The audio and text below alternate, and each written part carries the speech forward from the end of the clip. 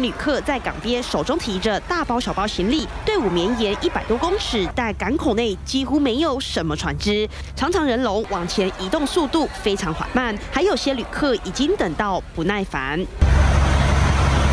三号傍晚，是逢暑期旅游高峰，满满人潮全都挤在绿岛的港口边。一次天气太热，往返绿岛的四艘客轮相继发生机械故障，只剩一艘可以载运，但业者却说，这全都是一例一休惹的祸。一休啊，啊，大家拢是惊罚款啊，无人要开店啊，停一只比较提